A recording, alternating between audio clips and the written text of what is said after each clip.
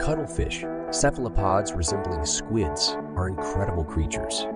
They have three hearts and can change color and texture instantly to camouflage and communicate. Cuttlefish also have the largest brain, body ratio among invertebrates, making them highly intelligent hunters.